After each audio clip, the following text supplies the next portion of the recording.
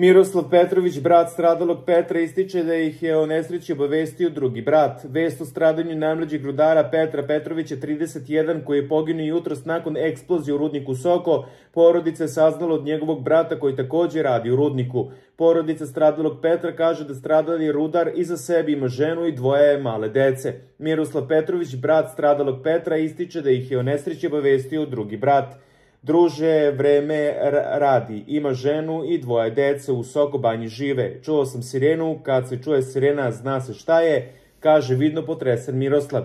Ističe da ga je najpre majka obavestila o tome šta se dogodilo, ali i da su za tragediju saznali od brata. Rekla mi je majka šta se desilo. Brat Stojan radi gore, on i Petar nisu ista smena. Petar je radi u treću, a Stojan je otišao prvo da ga zameni. Kaže Miroslav i da ode da je Stojan po dolasku na teren saznao.